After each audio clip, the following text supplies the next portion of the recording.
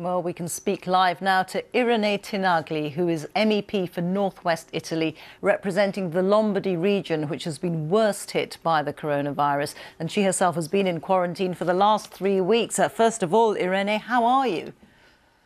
I'm fine. I'm fine, but of course I'm worried uh, because this emergency keeps going, and uh, although the growth rates is uh, less, it's you know not as, as tough as it was a few days ago, but the death toll increases every day. So this is very worrying. And the death toll has been really shocking today, hasn't it? Yeah. Uh, so many more uh, have died. Um, is this something that people were prepared for, or has it taken people uh, by shock?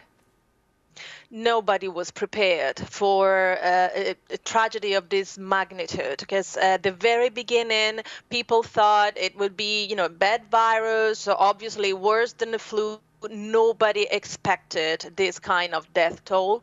Um, so uh, now many people are starting to really get scared. Uh, I you know the streets are completely desert of course there are people sometimes you know in line for groceries but um, uh, the, the situation is obviously very serious although the towns who were quarantined first in those areas the uh, contagion has stopped so this is a good sign that maybe in a week or so even in you know the area that right now are uh, most affected uh, it could be decreasing so that's what we all hope so it has been said um, that the UK is several weeks behind Italy. What advice would you have for the UK? Well, take it very seriously. Uh, don't hesitate to lock down, especially the areas that are more easily uh, to, to lock down, as we did in several towns. They responded very well. In a couple of weeks, uh, contagions uh, started to decrease and disappear. Of course, it's more difficult for large metropolitan areas, it's true, but uh, uh, this is the first thing is trying to lock down as much as you can.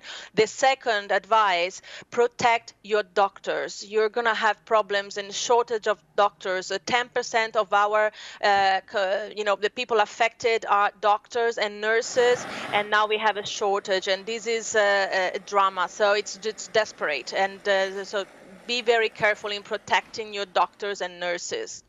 Okay, we're going to have to leave it there. Many thanks yeah. for talking to us. Irene Tinagli there, speaking to us from, uh, from Italy. Thank you.